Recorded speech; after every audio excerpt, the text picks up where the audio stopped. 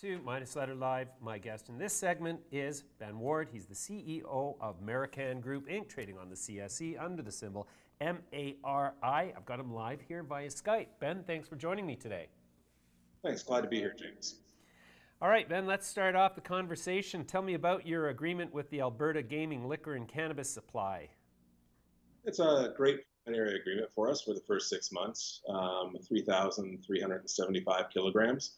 Um, I think we punched well above our weight in gaining a solid uh, contract uh, in Alberta, and I think it speaks to the uh, quality of the product and um, the brands that we've developed. And uh, there's a demand for our product, including rare dankness uh, for the recreational market. So um, the team that we brought in from Diageo has been working very well with all of the provinces and expect a lot more from us. And we have an opportunity to restock that order and then to increase uh, quantities for next year with Alberta. Okay,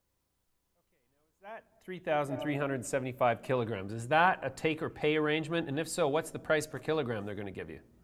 Uh, it's uh, we're not allowed to disclose price, um, but it is competitive with the market, and uh, I wouldn't say it's a take or pay. They'll restock as uh, necessary, just like you have in the alcohol market. You have churn of product, and it's a matter of how much product moves on the shelf. So uh, we're confident in our ability to move that amount of uh, product through in the first six months of rec, and then to add to that in the future.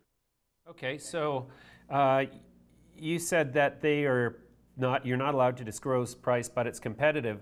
Are we to infer from that that all of the suppliers to the Alberta Gaming Liquor Cannabis Board are getting are basically being paid the same per kilogram?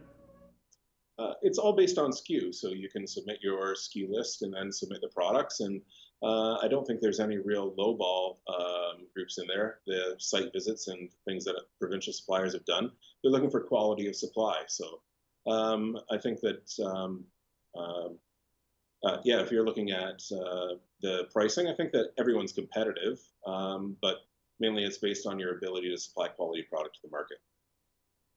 You said that you'd brought in a group from Diageo. I don't know whether I missed the press release. Can you outline who you're talking about exactly there? What's the nature of that relationship? Yeah, our uh, now VP Sales and Marketing was the head of marketing at Diageo.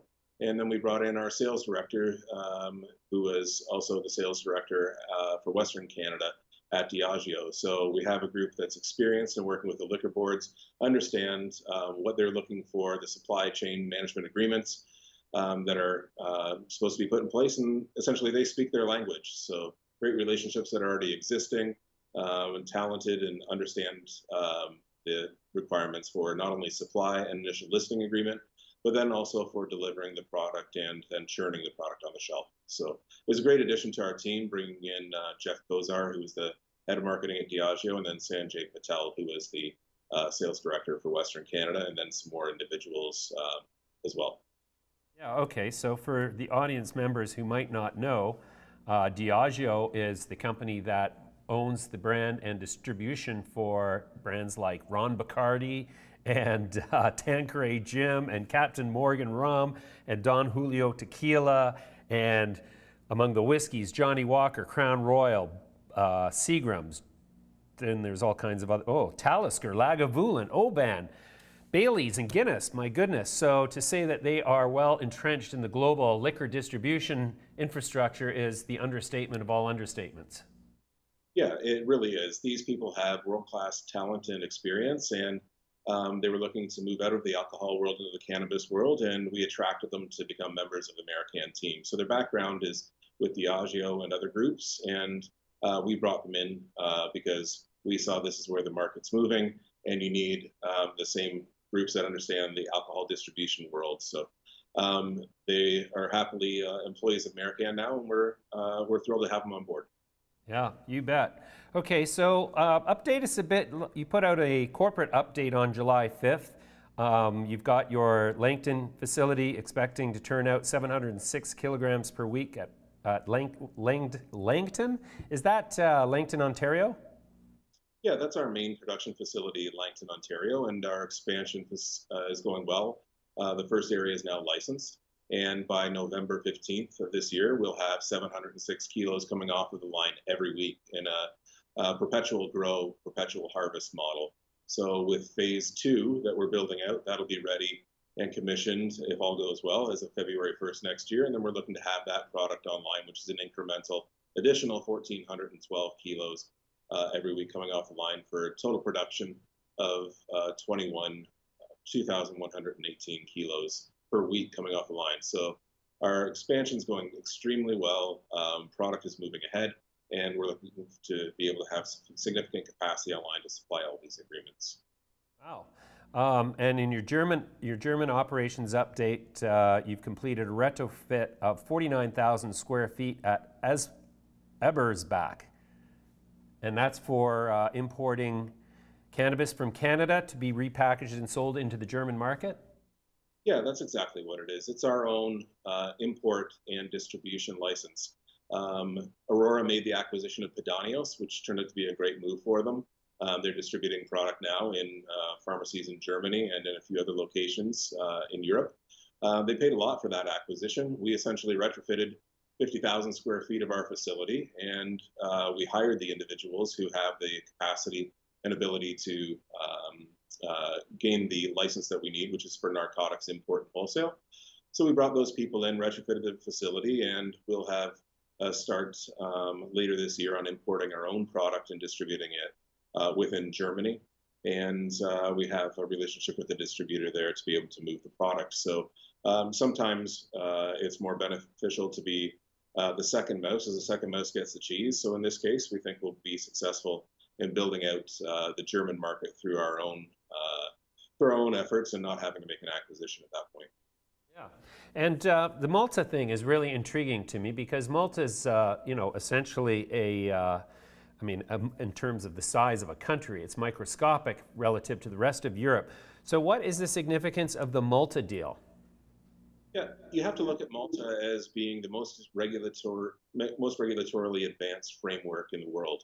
In Canada, we create cannabis flower. We can now in the rec market create pre rolls, uh, other types of things like that. Um, but in we can make our own THC distillate, which we do, but it's for research purposes. Uh, in Malta, we're able to take cannabis flower, extract that, and then really make the building blocks of all cannabis products, um, which are um, made from isolates uh, or distillate of products. So we can fractionate, we can make pure THC, CBD, CBN, CBG.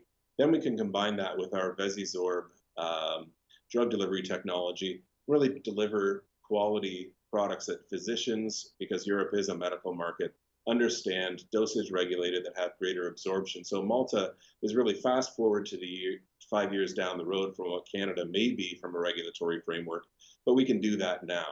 So taking products from Canada, exporting those to Malta, doing all of the extraction, distillation, isolation, finished dose manufacturing, and then opening up those products for the rest of the world into Germany, into Switzerland, and into the rest of the EU. Hmm. Wow, that's uh, that's intriguing. Um, so it gives you a chance to sort of get a lead on advanced product development for the European market.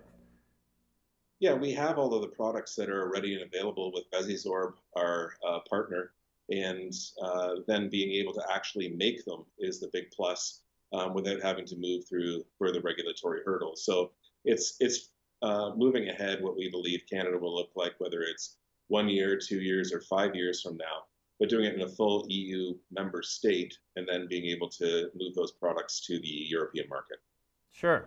Um, ben, I have to say in that, you know, I talked to all uh, CEOs in all companies that, or all the ones that matter anyways, and uh, you know, the, the, rate of development within Maricann, especially in this last quarter so far, has really been you know impressive and and surprising. I'm wondering, in your interpretation, why do you think the share price has sort of languished and just sort of drifted sideways over the last two or three months? Yeah, I think there's just uh, still um, some uh, overhang from what happened in February. Um, the company is fine. Um, the company has moved ahead. We've executed on our business plan and made further additions. So uh, we think that once the market understands uh, what we're doing, and uh, you're an integral part of that, helping to deliver the message of what Maricann's doing, uh, we think there'll be a response uh, coming into in again. Um, it wasn't a catastrophic event, although uh, for the business, although it was for the share price what happened in February, but the company is executing, the company is moving ahead, and as I mentioned earlier, we're punching well above our the perception of Maricann's weight in the market, and we're delivering on contracts in the rec space and on our commitments overseas. So I think it's just a matter of time until uh, the market comes back or uh, new investors uh, take notice of what Maricann's doing. Well, sounds sounds like you're doing a great job, Ben. Thanks very much for the update. We'll come back to you soon. Great. Thanks a lot for your time, James.